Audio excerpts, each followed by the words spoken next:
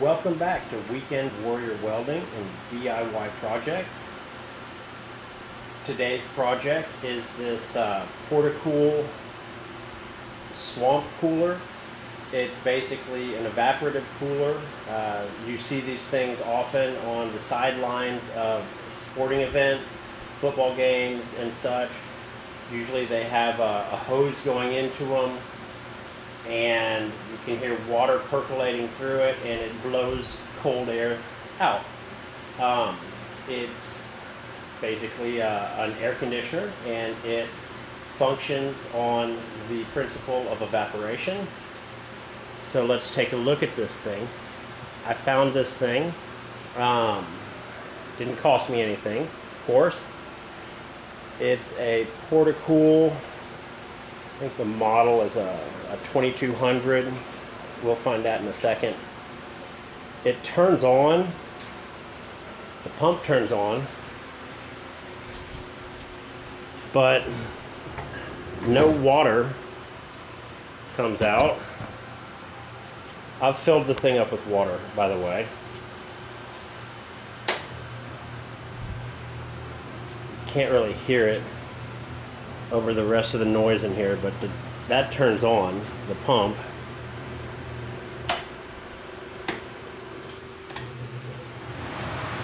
You can hear the fan. Fan works. So I feel like this thing either has a clogged line somewhere, either it hasn't been cleaned, hasn't been maintained, or the pump is bad. Really not sure which one it is. Gonna have to take it apart to figure that out. There's the nameplate. It's a Portacool Cyclone 2200 two-speed. Uh, runs off a 110, 115, draws two and a half amps.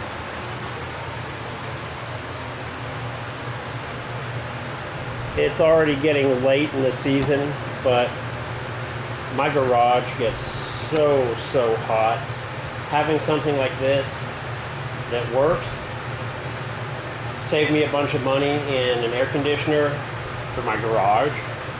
And on top of that, it's got wheels if I want to roll it around to the back patio, barbecue in the middle of the summer, watch a game on TV, I can have it cooled and I think it's going to be awesome.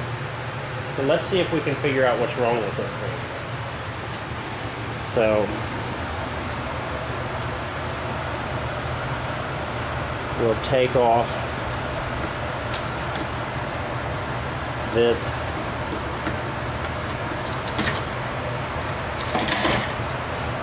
these pads are the water is supposed to percolate down through these, and this is where the evaporative cooling happens.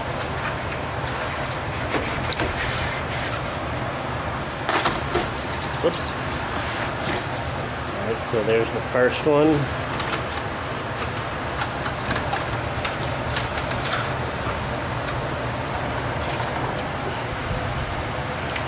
Second one.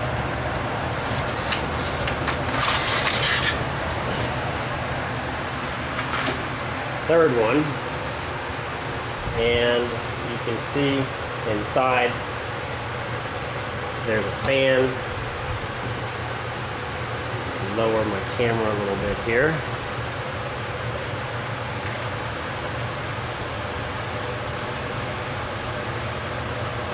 Okay. The inside actually looks pretty clean. Um, it doesn't look there's not a lot of scale Makes me think that the people who had this previously, at least they maintained it a little bit.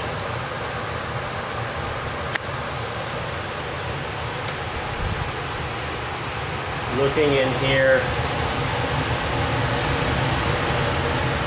that's the blower fan. There's the pump down there. See that? There is a pump down. I filled this this thing full of water so that we could test it, but it's not working. Uh, there's the float switch.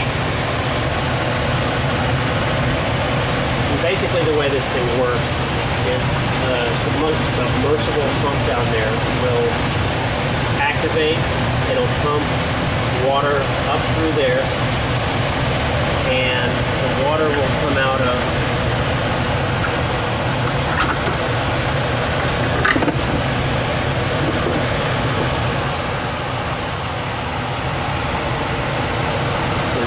Pipe, not unlike uh, an ice maker, and the water will percolate down through all those holes onto these evaporative,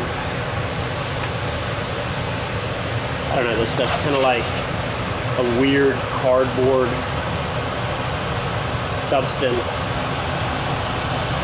And as the water evaporates, it cools the air that flows through it.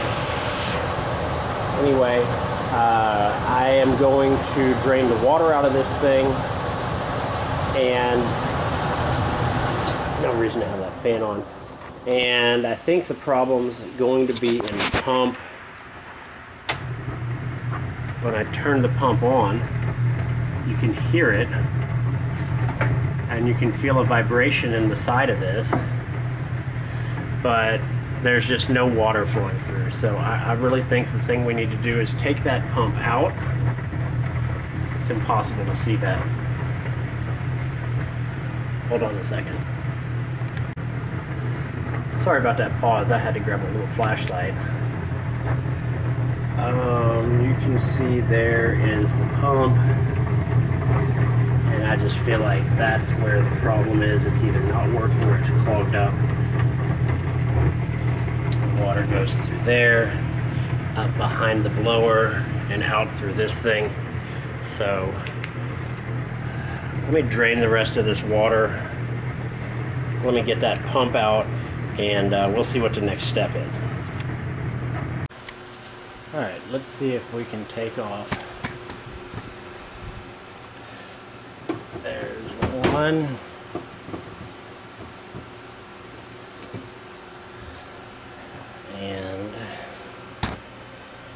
bottom one.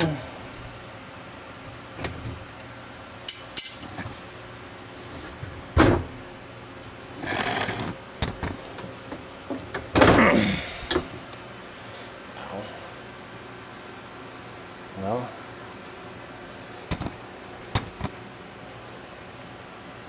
looks pretty clear. Don't see any major blockages like I've seen in the past with some things here in Houston with our lovely water.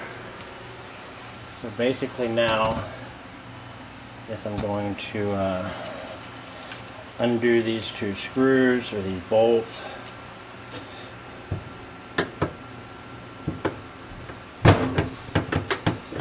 Yeah, I'm gonna need a different different set of pliers. Get a socket for that. That should free up the pump. Um, get that thing out and we'll see what it looks like. Alright, so got this off. Just an aluminum plate. And that lets the pump come out. I'm gonna have to take a look at that thing. Doesn't look too bad.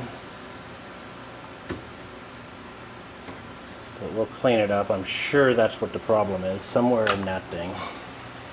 I wanted y'all to take a look at this. I had to unscrew the little rubber covers on these things and it took me a little bit and then the whole thing fell out. Um, you can't really see it from here but there's a whole box inside. That's where all the electronics are. And let's see if finagle it a certain way. Everything pops out. There we go. This box, there's the two toggle switches. It comes out, there's the ground. Um, this one looks like it's to the power. This is the blower motor. And this one, of course, is the one we're interested in, the pump. Alright. Really the only thing inside of here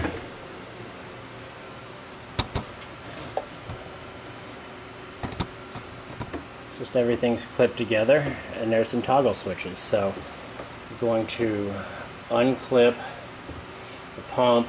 That's not worth our time. Um, and I'll be right back.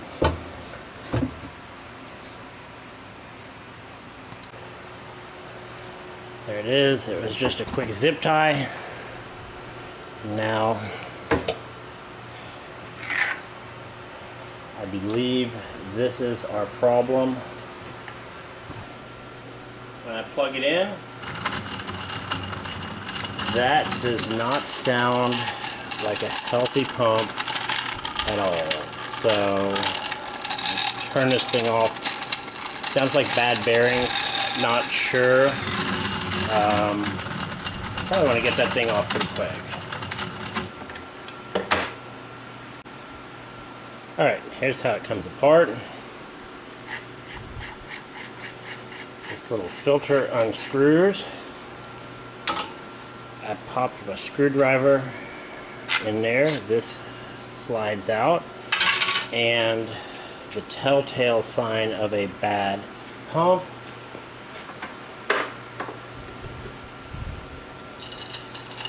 it is plugged in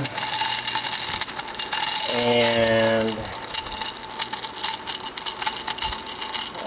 That there's a good angle. It is not spinning. So there are broken parts inside of that.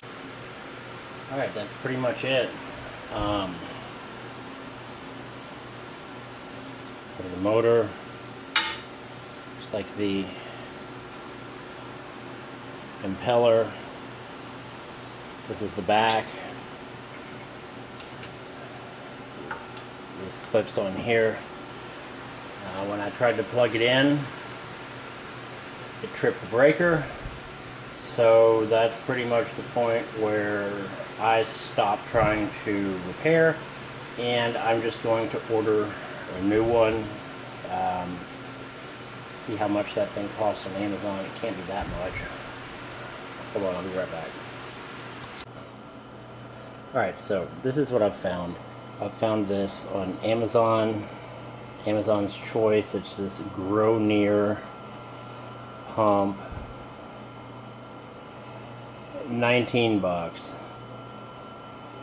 It'll be here, I don't know, tomorrow, day after, pretty quickly.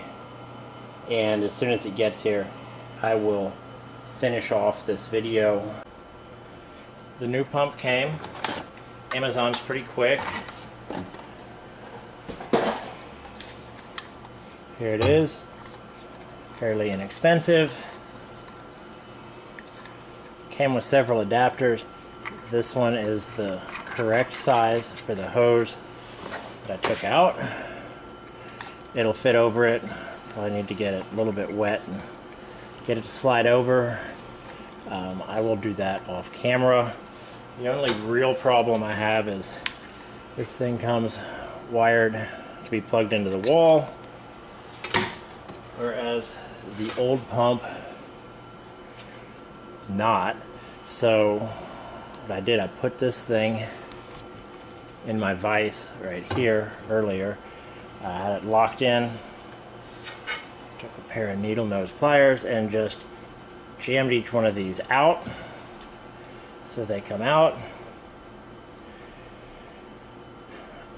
I have the correct plug.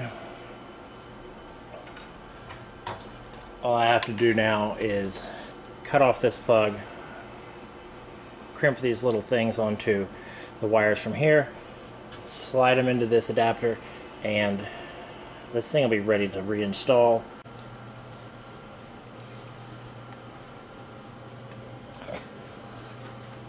Okay, so fix the connector. That's all ready. Plug it in.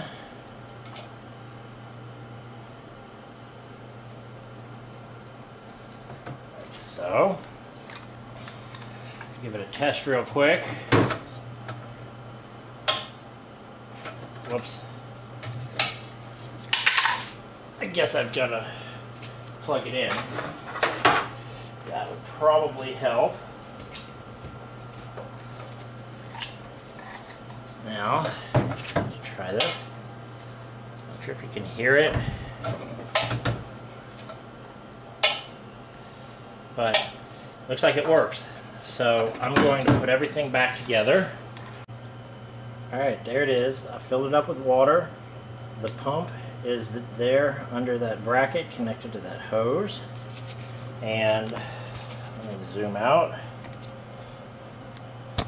Get a good angle and show you how the water falls on this thing after it's clean. And that water falls over these things, which I will install in just a second. Okay, I've installed the evaporative media. And now, when the water's on, it'll percolate through that. And see if we can get this turned.